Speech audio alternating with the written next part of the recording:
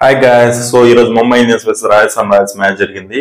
So royal sunrisers toss గెలిచి fielding తీసుకుంది so ఇది అసలే వాంకడే స్టేడియం ముంబైలో మ్యాచ్ అసలు. సో నేనైతే ఆల్రెడీ ముంబై గెలుస్తాను అనుకున్నాను. So last three four matches అయితే సో సన్ రైజర్స్ హైదరాబాద్ గెలుస్తుంది అనుకున్నాను చెన్నై గెలుస్తుంది అనుకున్నాను. సో అన్ని రివర్స్లో జరుగుతుంది. బట్ ఈ మ్యాచ్ అయితే ముంబై హోమ్ గ్రౌండ్ కాబట్టి ముంబై గెలుస్తుంది అనుకున్నాను. బట్ ఇది కూడా రివర్స్ అయింది. టాస్ గెలిచి టాస్ గెలిచినప్పుడు అనుకున్నాను వాంక్లో చేసింగ్ రాజస్థాన్ కొట్టేస్తుంది అనేసి. సో బట్ బ్యాటింగ్ కూడా చెప్పుకోదగ్గ పర్ఫార్మెన్స్ అయితే ఆడలేదు ముంబై ఇండియన్స్. చాలా అంటే చాలా డిసప్పాయింట్ అయిపోయాము. అసలు ఎందుకు ముంబై ఇండియన్స్ ఆడడం లేదు? నాకైతే అసలు అర్థం కాలేదు. సో హార్దిక్ పాండ్యా క్యాప్టెన్సీ వల్ల లేకపోతే రోహిత్ శర్మ క్యాప్టెన్సీ ఇస్తే ఏమైనా బాగా ఆడతారా? Remaining players remaining ten players Hardik Pandya captaincy వాళ్ళు ఆడలేదా? లేకపోతే వీళ్ళ ఆట సరిగ్గా ఆడడం లేదా? అయితే నాకైతే అస్సలు అర్థం కాలేదు. సో చాలా అయితే చాలా హోప్స్ ఉన్నాయి. సో రోహిత్ శర్మకి అయితే మామూలు ఫ్యాన్స్ లేదు. So India captain plus Hardik Pandya captaincy ఇచ్చినప్పటి నుంచి రోహిత్ శర్మ బ్యాటింగ్ బాగా ఆడతాడు అని అనుకున్నారు అందరూ. బట్ రోహిత్ శర్మ అయితే చెప్పుకోదగ్గ పర్ఫార్మెన్స్ అయితే ఆడడం లేదు లాస్ట్ త్రీ మ్యాచెస్గా. అసలు ఎందుకు అర్థం కాలేదు. ఈ రోజు అయితే మూడు డకౌట్ అనమాట Rohit Sharma Dewald Brevis Naman Dhir. So ముగ్గురు ఒక్కొక్క ఫస్ట్ బాలే అవుట్ అయ్యారండి. అసలు అసలు అంత పెద్ద స్వింగ్ అయితే అవ్వలేదు బౌలింగ్ అయితే. ట్రెండ్ బోల్డ్ బట్ వీళ్ళైతే సింపుల్ సింపుల్గా అవుట్ అయ్యారు. నాకు ఎందుకో ఎందుకు అసలు టూ అసలు మామూలు షార్ట్ బౌండరీస్ ప్లస్ లాంగ్ మాత్రమే seventy four metres remaining square boundaries అంతా sixty five sixty seven metres Wankhede stadium లో. నేనైతే two hundred plus score toss గెలిచి టాస్ ఓడిపినా కూడా బ్యాటింగ్లో టూ హండ్రెడ్ ప్లస్ స్కోర్ కొడుతుంది అనుకున్నాను. బట్ ఇషాన్ కిషన్ అయితే ఒకలాగా ఆడాడు. కానీ remaining Rohit Sharma Dewald Brevis నామందిర్ అందరూ ఫస్ట్ ఆల్కి అందరూ ముంబై ఇండియన్స్ ఫ్యాన్స్ అంతా చాలా డిసప్పాయింట్ అయిపోయారు. ట్వంటీకి ఫోర్ వికెట్స్ అంటే అసలు ఆ మ్యాచ్ చూడకపోతే కాదు. అసలు ముంబై ఇండియన్స్ ఎందుకు ఆడడం లేదో నాకైతే ఇంతవరకు అర్థం కాలేదు. పొలాడు సచిన్ మెంటర్స్ కోచెస్ అందరూ ఉన్నారు. ఇంత పెద్ద డెసిషన్ కెప్టెన్సీ మార్చారు. అసలు ఏమైందో తెలియదు కానీ సో మనకు ఒక చలికాలం సూర్యుడు వస్తే ఎంత బాగుంటుంది అనుకుంటాం కదా. సో నాకు తెలిసి సూర్యకుమార్ యాదవ్ వస్తే కూడా మారుతుందో లేదో అయితే నాకైతే నమ్మకం లేదు. ఎందుకంటే బౌలింగ్ అయితే అస్సలు లేదు. బౌలింగ్ ముంబై ఇండియన్స్ బౌలింగ్ లేదు. ప్లస్ బ్యాటింగ్ కూడా సో బ్యాటింగ్ ఉన్నా కూడా వీళ్ళు ఆడలేకపోతున్నారు. ఎందుకైతే అర్థం కాలేదు? మేబీ ఈ క్యాప్టెన్స్ ఏమైనా రోహిత్ శర్మకి ఇస్తే రిమైన్ ప్లేయర్స్ ఏమైనా ఆడతారేమో అనిపిస్తుంది నాకైతే. సో అంత వరస్ట్గా ఆడారు బ్యాటింగ్ అయితే. ఎక్సెప్ట్ ఇషాన్ కిషన్ హార్దిక్ పాండే అయితే ఈ రోజు పర్లేదు. అంటే ఎవరు ఆడినప్పుడు ఇంకా వాడు ఆడాల వాడు ఆడకపోతే వాడిని కూడా అంటారు సో హార్దిక్ పాండే అయితే ఏదో ఆడాడు. చాహల్ దాంట్లో అవుట్ అయిపోయాడు. కానీ ఇదైతే ఎంత తక్కువ స్కోర్ అసలు నుంచి ఎక్స్పెక్ట్ చేయలేదు. ఎవరు శర్మ హార్దిక్ పాండ్యా అసలు పర్లేదు. వాళ్ళు వాళ్ళు కూడా రన్స్ కొట్టుకున్నా ఉంటే ఇంకా హండ్రెడ్ లోపల ఆల్అౌట్ అయింటారు టిమ్ డేవిడ్ అయితే చాలా వర్స్ట్గా ఆడాడు. సో సింగిల్ తీసిన బుమ్రా అసలు బుమ్రా సింగిల్ ది ఇచ్చాడు సెవెంటీన్త్ ఓవర్ రిమైనింగ్ బాల్స్ అన్ని డాట్ ఆడాడు. అది ఏం ఏమనుకున్నాడో తెలియదు కానీ so at least one forty one fifty ఉంటే బాగుండేది మ్యాచ్ సో లో స్కోరింగ్ కొంచెం వికెట్స్ పడ్డాయి కాబట్టి రాజస్థాన్ కూడా వీళ్ళు కూడా ఒక వన్ ఫిఫ్టీ వన్ సిక్స్టీ కొట్టుంటే కొంచెం ఇంట్రెస్ట్గా ఉండేది కానీ సో టిమ్ డేవిడ్ అయితే అసలు ఆడలేదు. లాస్ట్లో హిట్టింగ్ చేసేవాడు మామూలుగా అయితే. సో అతను ఆడలేదు. సో బుమ్రానే బెస్ట్ యాక్చువల్గా ట్వంటీ ఓవర్లో నైన్ రన్స్ టెన్ రన్స్ కొట్టాడు.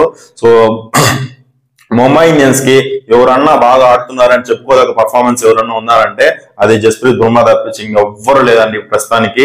సో మేబీ సూర్యకుమార్ యాదవ్ వస్తే ఏమన్నా వీళ్ళకి మారుతుందేమో అని నాకు అనిపిస్తుంది. రాజస్థాన్ బౌలింగ్ వస్తే బోల్ట్ బోల్ట్ అయితే సూపర్గా వేసాడండి ఈ రోజు బౌలింగ్ అసలు four ఓవర్స్కి twenty runs three wickets power play లోనే త్రీ ఓవర్స్ వేసేసాడు. సో సూపర్ బౌలింగ్ అసలు అందరు తక్కువ చెప్పారు అవుట్ అయ్యారు బోల్డ్ దాంట్లోనే.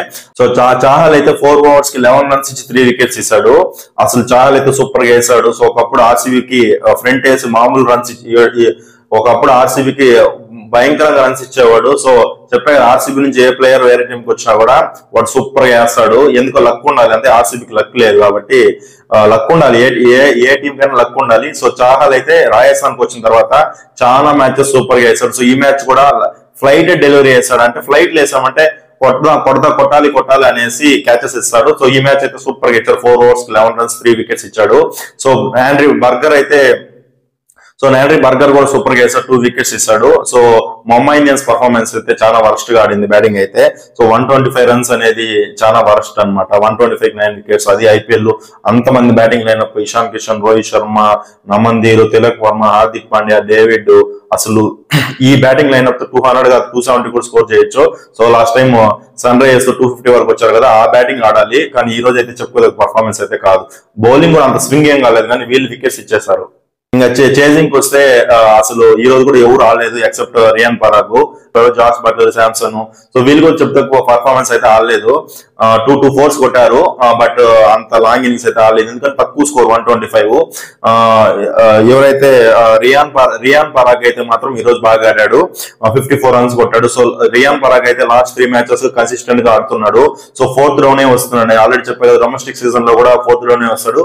సో ఈసారి కూడా రాజస్థాన్కి ఫోర్త్ రౌండ్లో వస్తున్నాడు. సో ముందు ముందు ఐపీఎల్ అయితే సిక్స్త్ రౌండ్ అలా పంపించేవారు. సో ఈ ఇయర్ అయితే ఇండియన్ ప్లేయర్ యూస్ చేస్తున్నారు బాగా ఫోర్త్ రౌండ్లో. సో ఈ మ్యాచ్ కూడా ఫిఫ్టీ రన్స్ కొట్టాడు. సో రియాన్ పరాగ్ అయితే మంచి ఫామ్లో అయితే ఉన్నాడు. సో ముంబై ఇండియన్స్ బౌలింగ్ వస్తే ఎక్సెప్ట్ బుమ్రా ఇంకెవరు బౌలర్స్ నాకైతే కనపడడం లేదు. సేమ్ ఆర్సీబీ లాగానే బౌలింగ్ బౌలింగ్ లేకపోతే అసలు మ్యాచ్ వినేది చాలా కష్టం అండి. బ్యాటింగ్ బ్యాటింగ్ అన్నా ఎలాగైనా ఆడొచ్చు కానీ బౌలింగ్ లేకపోతే ఆ టీమే వేస్ట్ అయిపోతుంది. సో ఈసారి కూడా ముంబై ఇండియన్స్ బౌలింగ్ అయితే నాకైతే అసలు కనపడలేదు. మేబీ ఏమన్నా చేంజ్ చేసి వేరే ప్లేయర్స్కి ఛాన్స్ ఇస్తారేమో చూడాలి.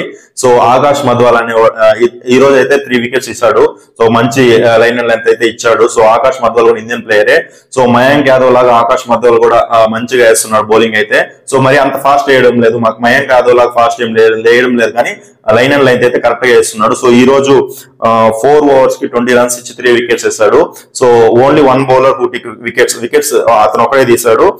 ఇంకెవరైతే ఆడలేదండి మా మపాక అయితే ఎందుకు అసలు మపాక ఎందుకు బౌలింగ్ ఇస్తారో నాకైతే అర్థం కాదు పవర్ ప్లే లో. So first over third over వేస్తున్నాడు సో ముందు ముందు బోల్ట్ అయితే ముంబై ఇండియన్స్ ఉన్నాడు సో ఇప్పుడు ఆపోజిట్లో రాజస్థాన్ రాయల్స్కి వికెట్ ఇస్తున్నాడు సో అసలు బోల్ట్ని వదిలేశారు జాస్ బట్లర్ని వదిలేశారు జొఫ్రా ఆర్చర్ అందరూ ఆ, జొఫ్రా ఆర్చర్ అంటే ఇంజురీ వల్ల వెళ్ళిపోయాడు. కానీ సో మిగతా ప్లేయర్స్ అందరూ బాగా ఆడే ప్లేయర్స్ అన్ని బౌలింగ్ వేసే పవర్ ప్లే లో బాగా మంచి బౌలింగ్ వేసే ప్లేయర్స్ అన్ని వదిలేసి ఈ మపాకాని అండర్ నైన్టీన్ ప్లే అండర్ నైన్టీన్లో బాగా వేశారు కానీ సో కొంచెం ఎక్స్పీరియన్స్ వచ్చిన తర్వాత ఆడిపించుంటే బాగుండేది అనిపించింది నాకైతే. సో నెక్స్ట్ మ్యాచ్ అయినా మపాకాని రీప్లేస్ చేసి వేరే ఫారిన్ ప్లేయర్ ఎవరైనా ఉంటే వాళ్ళని తీసుకోవాలని మనస్ఫూర్తిగా అనుకుంటున్నాను. సో ఇదైతే చెప్పుకోలే పర్ఫార్మెన్స్ కాదు. ముంబై ఇండియన్స్ ఫ్యాన్ అయితే చాలా డిసప్పాయింట్ అయ్యారు. రోహిత్ శర్మ ఫ్యాన్స్ అయితే ఈరోజు నిద్రపోరు. సో చాలా అంటే చాలా డిసప్పాయింట్ మేబీ సూర్యకుమార్ యాదవ్ వస్తేనే నాకు తెలిసి ఇంకో అట్లీస్ట్ బోని అన్న కొడుతుంది ముంబై ఇండియన్స్ అని నేను అనుకుంటున్నాను. సో ఇన్ కేస్ మీకు ఈ వీడియో నచ్చితే keep like share and subscribe అండి. థ్యాంక్స్